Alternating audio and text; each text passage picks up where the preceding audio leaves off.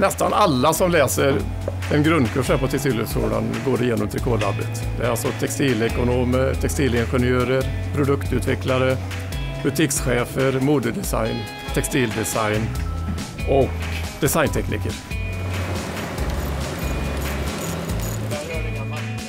Ja, det är ju froststickmaskiner de där borta, alltså med två nålbäddar så här. Där stickar man grova saker då, tröjor och, och sånt där. Och sen har vi ju rundstickmaskiner, de har oftast finare delning. Det är ju metervara egentligen man köper dem då, enkelt sagt.